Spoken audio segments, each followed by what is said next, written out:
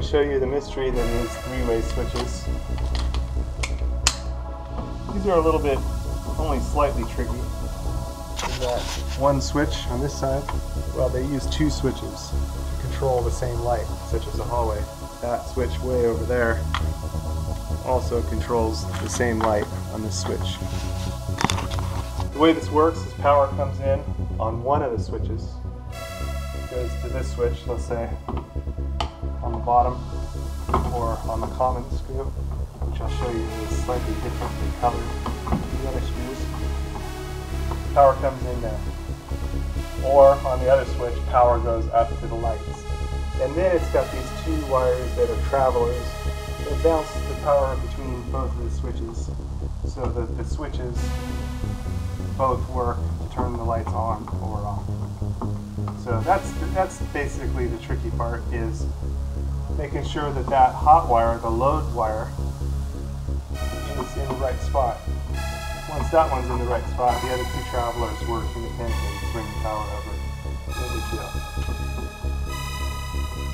Let me pull this on top here, show you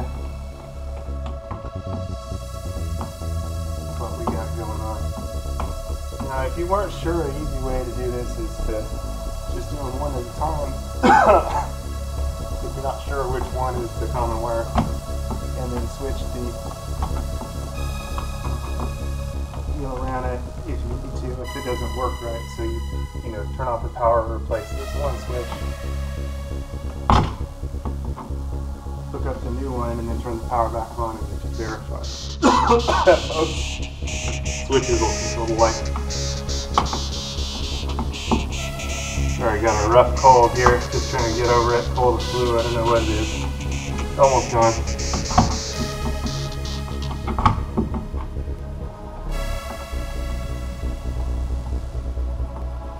Okay. There we go. Now that's ready, we can pull it out. My power is still alive. wanted to show you back here the one switch on top here is black, so that's our common, and the other two are brass. Okay, so before we get any further, we turn the breaker out. All the breaker's off, lights out, and here goes. To be changing these out with some rockers today. Good idea if you have it to use a chirping alert device. This new one also has a ground port for a ground wire. the old one did, did not have that. Right here is our common screw. You can see it's black in color rather than brass. So we just want to make sure that our common is hooked up to that bottom port And just to confuse you, they wrote common right in between. So it's very difficult to tell. I believe actually the middle port is the common screw. C-O-M and it's going to the middle. So we're going to match that common onto there. If that doesn't work, we'll need to switch it over. Again, it's a good idea to use a chirping alert device at this point, if you have it, to prove whether your power is actually out. This one is uh, quick connected. You can use quick connect or side wires. With the quick connect, you need like a flat blade screwdriver. Push the button. Pull the wire out. Anyway, there's our common screw. Again, that one's going to go to the middle wire here. There's a little labeling on the top and the bottom. We're going to go to the middle wire. Quick connect just pushes in like so.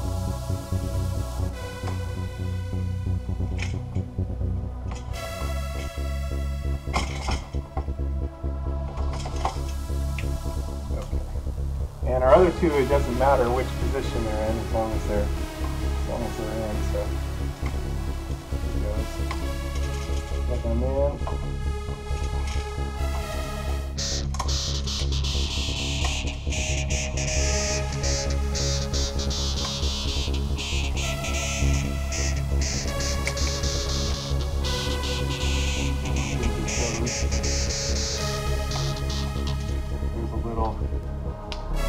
Top there.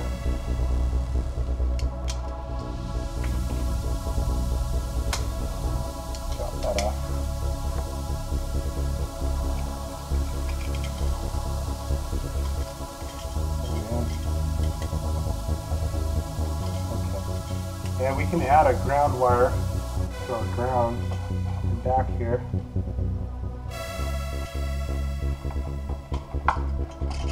Or not, but if we want to make it safer, we can add a ground there. Of course, there's nothing, the box is plastic. This is plastic on the front here, so not too big a deal. But you can add a ground there if you wanted to. Anyway, now let's turn our breaker back on and check this puppy out. Here's all our breakers.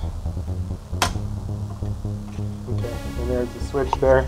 I don't really need to turn them all on, just need to see if this will turn it off. And it does. And now we want to make sure that the other side turns it off and on. So it's on right now, and there's off. Now we want to make sure that the other side still works also. Turn it back on. It does. Okay, so we got that right. Nice and easy. Now we'll switch sides and do the other one before I put it all back together. So there we go. And the same thing, we're just going to watch for that wire it up. Okay.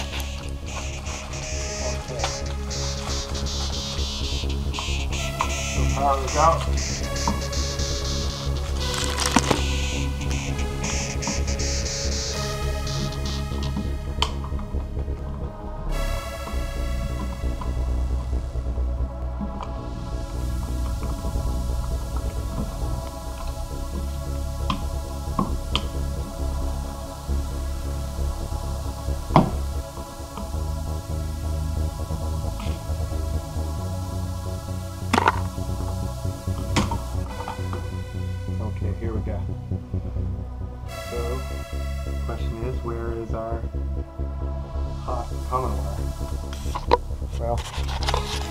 To tell on this one. Looks like the bottom wire here, black one.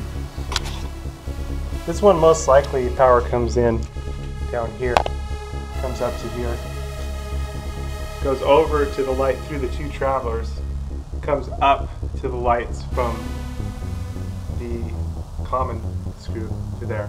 And switches, of, co- of course, control from both sides. That's how the So now we're just going to release all those wires. Again, just like on the other side, the common screw is going to go to that middle, middle port.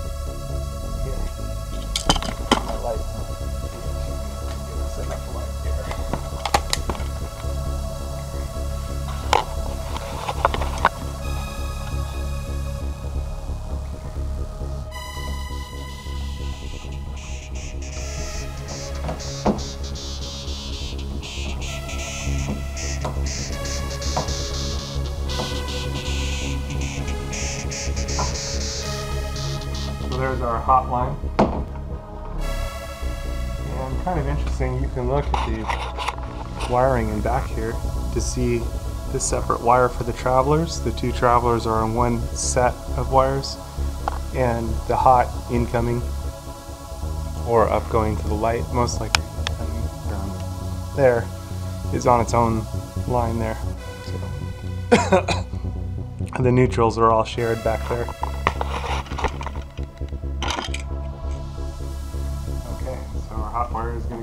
Common. And for the travelers, it doesn't matter which side goes which.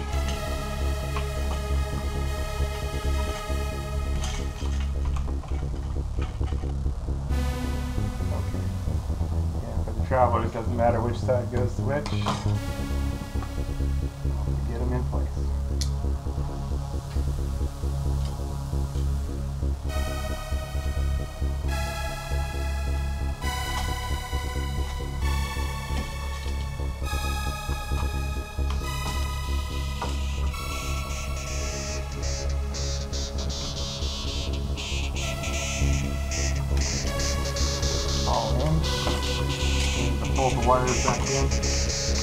Before I get too far, I'll be testing it out.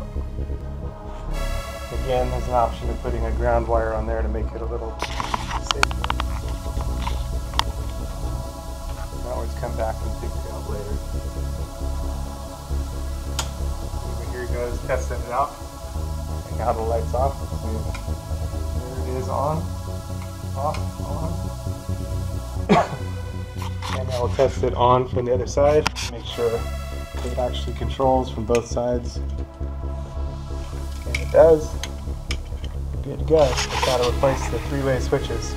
I'll just need to grab a jumper wire, jump from the ground to the ground, reset the, the uh, wiring, reset the switches in the boxes, put my covers on, good to go.